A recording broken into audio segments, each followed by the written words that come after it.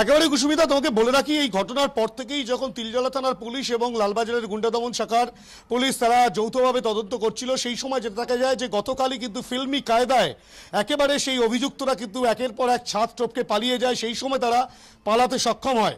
পরবর্তী ক্ষেত্রে পুলিশ তদন্তে জানতে পারে যে যেই সময় এই ঘটনা ঘটে, যেই সময় গুলি চালানোর ঘটনা, চপার দিয়ে আঘাত করার ঘটনা ঘটে এবং বোমাবাজির ঘটনা ঘটে, সেই সময় কিন্তু উপস্থিত ছিলেন অভিযুক্তর যিনি মা তিনি ফুলন দেবী, সেই ফুলন দেবী এবং অভিযুক্ত দিদি, লীলাবতী দেবী।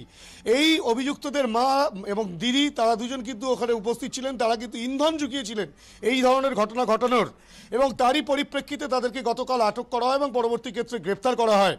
এবং তোমাকে বলে রাখি, আজ সকালবেলা ভোরের দিকে কিন্তু রিবোধ রায় যে মূল অভিযুক্ত জীবদের ভাই, সেই রিবোধ রায়কে কিন্তু কাছড়াপাড়া থেকে গুন্ডা দমন শাখার পুলিশ এবং তিলজলা থানার পুলিশ যৌথভাবে অভিযান চালিয়ে গ্রেফতার করেছে, তাকে জিজ্ঞাসাবাদ চলছে। তার মা দিদিকেও কিন্তু জিজ্ঞাসাবাদের প্রক্রিয়া চলছে। বাকিরা কিন্তু এখনও পর্যন্ত পলাতক, মূলত জীবদ রায় এবং তার ভাই বিনোদ রায়, যে দুজনের নাম প্রথমে উঠে আসে, যাদের হাতে অস্ত্র ছিল বলে অভিযোগ করা হয়েছিল, তাদেরকে কিন্তু এখন, তাদের খোঁজ এখনও পর্যন্ত পাওয়া যায়নি।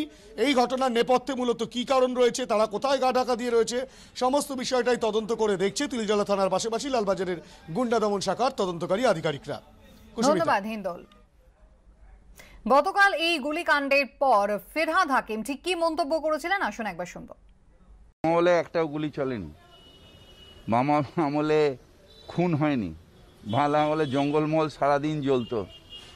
রোজ কত লোক মারা যেত। একটা দুটো ঘটনা হতে পারে আমি তো বারবার করে বলি নাহলে তো যদি ধরুন কেউ কোনো গুলি চলবে না কোনো দুষ্কৃতি থাকবে না তাহলে তো পুলিশই উঠে যাবে। তাহলে তো কোর্টই উঠে যাবে। এগুলো আছে, কিন্তু বাম তুলনায় বা অন্য রাজ্যের তুলনায় অনেক বেশি আমরা ঠিক আছে। কিন্তু একটা স্টে ইনসিডেন্ট হবে না, কেউ আসবে না, এটা আমাদের বর্ডারিং ডিস্ট্রিক্ট থেকে আপনিও জানেন যে কিছুদিন আগে যে খুন হয়েছিল, প্রমাণ হলো যে বিহার থেকে আর্মস এসছেন। তো বিহার থেকে ইউপির থেকে সাব শুটার আসবে না, গুলি আসবে না, বোম আসবে না।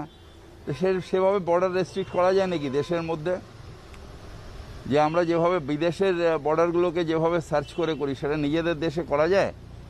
তো সেগুলো হবে কিন্তু আমরা রেস্ট্রিকশন রাখছি এবং পুলিশ যথাযথ ব্যবস্থা নিচ্ছে। সত্য অন্তহীন। সত্যের খোঁজও তাই। সত্য সন্ধানে তাই আমরা অক্লান্ত অকুতভয় এবিপি আনন্দ নতুন ভাবনার প্রতীক যা মনে মুক্ত তথ্যে যুক্ত এবং যাবতীয় সীমানার বাঁধন থেকে মুক্ত। সীমা না শব্দটির মধ্যে লুকিয়ে আছে মানা শব্দটি, যেন চোখ রাঙানি, এক অদৃশ্য বেড়া যা আটকে রাখে আমাদের এক ছোট্ট গণ্ডির মধ্যে। একমাত্র সঠিক খবরই গড়ে তুলবে এক মুক্ত সমাজ। সেই জগৎ গড়ার লক্ষ্যে কোনো সীমানার ঠুকুটি আমরা মানব না। এবিপি আনন্দ, এগিয়ে থাকে, এগিয়ে রাখে।